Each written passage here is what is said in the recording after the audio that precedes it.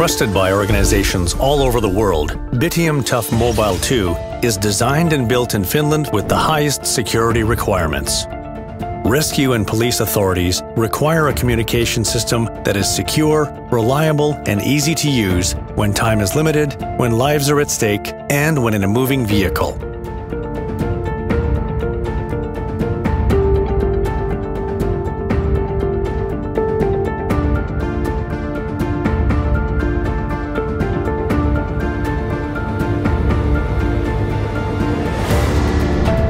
In matters of national security, no standard is too high. Tactical communication is always secured with the highest standards.